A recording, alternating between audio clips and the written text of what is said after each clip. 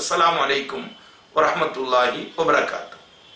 இன்னொரு சகோதரர் கேட்டிருக்கின்றார் இப்பொழுது ஹலீஃபா இருக்கின்றார்களா? ஏன் இல்லாமல் இருக்கின்றார்கள்? அவருடைய கேள்வி அவருடைய ஆதங்கம் ஒரு ஹலீஃபா இருந்தால் எவ்வளவு நன்றாக இருக்கும்? ஹலீஃபா இல்லையே என்பதாக அவர் கேட்கின்றார். மிகவும் நியாயமான கேள்வி இது. துருக்கியினுடைய ஹிலாஃபத் இருக்கும் வரைக்கும் ஹலீஃபா என்று ஒருவர் இருந்தார் கடைசியாக அப்துல் ஹமீத் கான் இவர் ஹலீஃபாவாக இருந்தார்கள் இவர்களை எப்பொழுது துருக்கியினுடைய ஹிலாஃபத்தை விட்டு பிரிட்டிஷ் அரசு வெளியேற்றியதோ பல்வேறு சதிகளின் மூலமாக அத்தோடு ஹிலாஃபத் என்ற அத்தியாயம் முடிவுக்கு வந்துவிட்டது ஆயிரத்தி தொள்ளாயிரத்தி இருபத்தி நான்காம் ஆண்டு இந்த ஒரு கொடுமையான சூழல் ஏற்பட்டது. அதற்கு பின்பில் இருந்தே ஒரு ஹலீஃபா இல்லாத சமுதாயமாக உலக முஸ்லிம் சமுதாயம் இருக்கின்றது.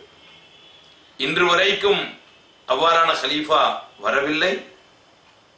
வராமல் இருப்பதற்கான காரணத்தை பல்வேறு விதமாக நாம் சொல்லலாம்.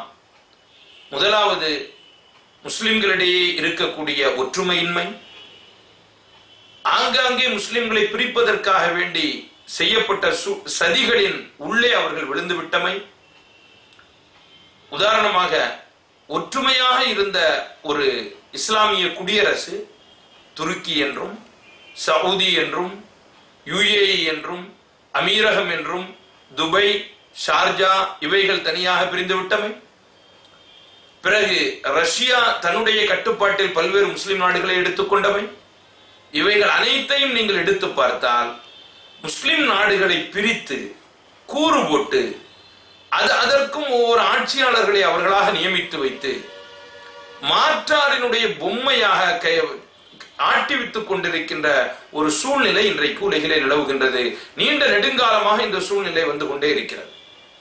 என்றைக்கு ஒட்டுமொத்தமான இஸ்லாமிய உலகமும் ஹிலாஃபத்தின் கீழ் வருமோ அன்றைக்கு தான் ஹலீஃபா ஏற்படுத்தப்படுவார். யாராவது ஒருவர் தன்னை ஹலீஃபா வென்றோ ஹிலாபத்தின்படி நான் ஆட்சியை புரிகின்றேன் என்றோ சொல்லிவிடுவதன் காரணமாக அவர் ஹலீஃபாவாகவும் ஆக முடியாது ஹிலாபத்தும் ஏற்பட முடியாது.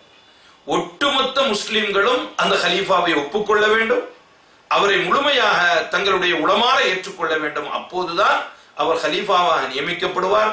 ஹிலாஃபத் என்பதும் நடைமுறை சாத்தியமாகும். எனவே இப்பொழுது ஹலீஃபாவும் இல்லை ஹிலாஃபத்தும் இல்லை என்பதை அன்பு சகோதரர் புரிந்து கொள்ள வேண்டும். அஸ்லாம் அலைக்கும் வரமத்துல்லாஹி வபரகாத்து.